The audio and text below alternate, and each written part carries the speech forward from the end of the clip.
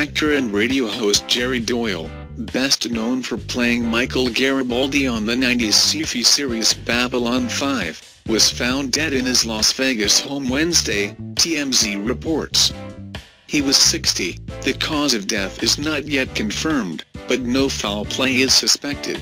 An autopsy is pending. Doyle's biggest acting credit was as Garibaldi, the recovering alcoholic security chief on the space station Babylon 5 for five seasons from 1994 to 1998. Before he began acting, he worked as a corporate jet pilot and a stockbroker.